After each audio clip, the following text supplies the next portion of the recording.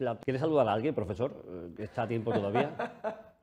pues mira, yo creo que a toda la familia de RTV Betty, Juan, que venimos también de, de otras épocas muy duras y ahora toda la familia se merece disfrutarlo. Sí, señor.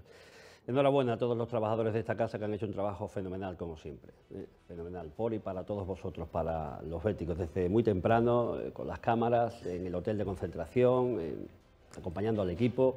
Habéis visto imágenes inéditas dentro y fuera del estadio. Hay muchísima gente trabajando detrás de las cámaras para llevaros este trabajo. Es un orgullo trabajar con tanto y buen profesional. ¿eh? Así da gusto venir cada día al Benito Villamarín y a todos los béticos del mundo, disfrutad de este momento. Llegará la final el 23 de abril contra el Valencia, ojalá la ganemos, pero hemos vuelto 17 años después al Olimpo del fútbol nacional, porque esto además nos da paso a jugar una Supercopa de España.